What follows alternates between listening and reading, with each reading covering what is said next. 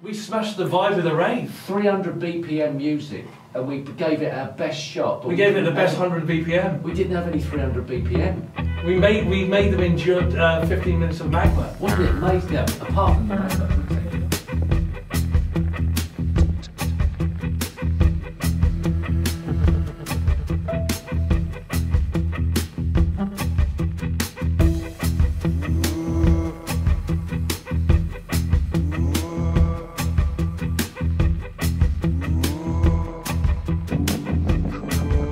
Welcome to the Interesting Alternative Show here on Phoenix FM with me, Steve Davis, and Me, Kavus Torabi, yes, hi. yes, yes, yes. Uh, Brentwood and Billericay's uh, favourite and only local community radio station, uh, uh, and available online.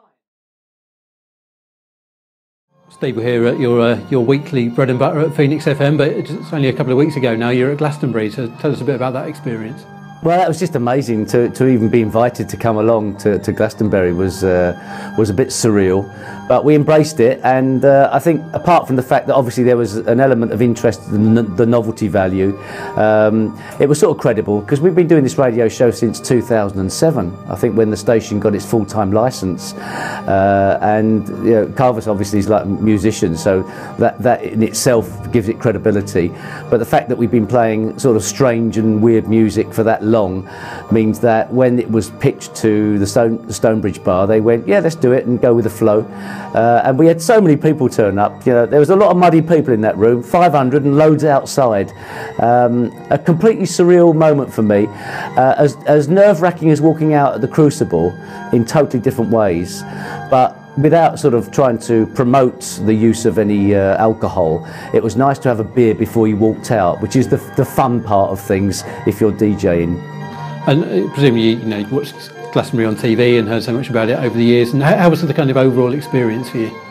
Well, we, we were playing the day before the bands turned up, so it was sort of DJs playing on Thursday, so everybody's milling around, sort of just chilling and preparing for what bands they were going to go and watch. But to even soak up the atmosphere was amazing, and um, from my perspective, it was uh, was a was a, a, memory, a memorable moment, really. Um, and, and then Suggs came on stage out of nowhere. It was madness in more ways than one. Uh, and we just had a great reception, and it will stay in my memory for a long time. And on the strength of that, the Bloc Weekend that started it off, and the radio show, we've got a lot more festivals lined up, including Tramlines in Sheffield. So I'll be at the Millennium Gallery uh, on the 23rd, back right close to the Crucible. You, know, you couldn't make it up, really.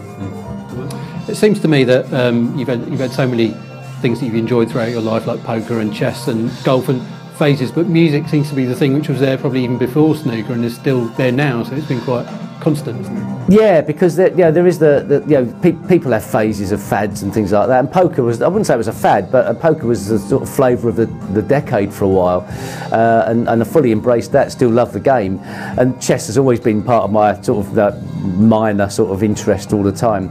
But the music thing, uh, as a as a record collector, and it's been my major hobby. Um, I suppose it was only natural that in the end I did something on radio.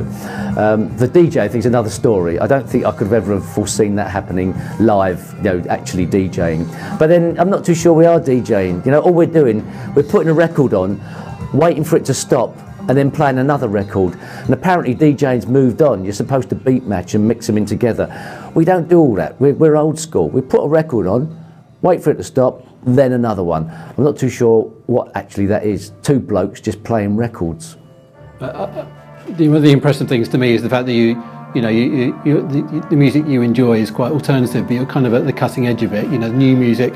You know, you obviously started off with, with soul and then prog rock and now techno. You know, you, you've kind of moved with the times, haven't you? Well, I, I've tried to sort of like embrace the, the weird and wonderful out there, and it doesn't often get that much of a, a viewing on normal radio, air, airing on, on normal radio. So I think the show we do is to sort of try and champion the, the smaller artists, the, the artists that are pushing boundaries in whichever direction. The programme said the music was quite avant-garde. They're not wrong. He's going for it, and I love it.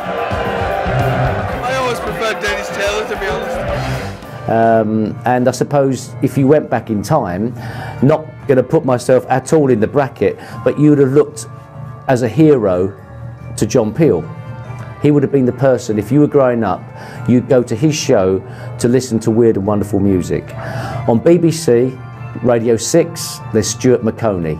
He plays the same sort of far out left field music that's out there and he's prepared to take a chance on something and people not liking it and turning off. So we do the same thing. Probably not so hurtful if people turn off on Phoenix FM at 10, 10 o'clock on a Monday evening. But we've got a small following and it's grown and it's sort of like, it's, it's getting to a stage where it's got a cult following. Uh, and that for us is, is nice because the champions of the show, the, the artists are the champions, they're the heroes, we're just the facilitators really. And when you when you walk out on, on stage to do a, do a gig, how does that buzz compare to you know walking out into the Crucible or Wembley or somewhere else? Well, I mean, I used to know when I walked out to a snooker table what to expect. That was my office. Uh, it's not been something I've done for for a while at, at the final stages of an event. So that was strange when you walked out when it got to the cutting edge. When I walked out for the quarter final against Neil Robertson, uh, then all of a sudden that becomes a little bit ooh, it's a bit strange. But back in the day, that was where I, I, lived out there on that table. The DJ and walking out to two decks and there's loads of people facing you, that's quite overawing. That's quite a strange experience. I suppose you will get used to it. Um, and I'm learning from Kavus because he's a natural showman out there as a musician. So he's jumping around all over the place. I'm learning a bit about that, but I'm just enjoying myself. So if the music takes me uh, on the evening, I can sort of just bop along. But I'm not too sure I can be that demonstrative. It's not part of my nature. And where, where, does the where does the new music you find come from? Do you go and see live bands, or is it just come scaring the internet, or where, where does the music come from? Um, well, if you know where to look, it finds you. Uh, and you, you know, Facebook group pages and and various forums. But I think you just keep your, your, your nose to the ground or your ear to the the speaker, and you will find like-minded music. And there's a lot more sites out now that recommend if you like this, you might like that. So there's all that going on. But you, you have to dig. It's, you don't use any shoe leather up, but you certainly click a few times. And, uh, this is good. What's this one? Kavus, what's this? This is Panzer Oh, yeah, I thought it was, yeah, yeah, this is good. Panzerpappa. Panzer Papa. Pan, Panzerpappa. Um, and do you see this as like a long-term thing, doing the DJing and doing more of it? Well, I think we'd like to think that we could perhaps establish uh, sort of residencies in places around the country. I'm not too sure how long the music festivals will keep on going with it because you don't know if they how much they like it. But if the phone keeps ringing, then great fun because it is really enjoyable because it's a happy atmosphere. Everybody's up for it. So therefore, as long as, it, as, it, as anybody wants us, we'll do that. But it might be nice to have some smaller events around the country. And we were looking at the, the model that uh, Craig Charles has with his, with his soul and funk uh, shows that go around the country, and thinking we could perhaps do something on, on a slightly different uh, vein as far as music-wise, but a similar sort of project. But but we just go with the flow of it really, because it's not it's not a profession, it's a hobby. Just finally, one question about snooker. Obviously, retired earlier this year, and is, it, is there something psychological which is was kind of difficult to accept that and that knowledge that you'll never do that thing of getting ready for a match and going out to play? And is it is it possible to replace that buzz with anything else?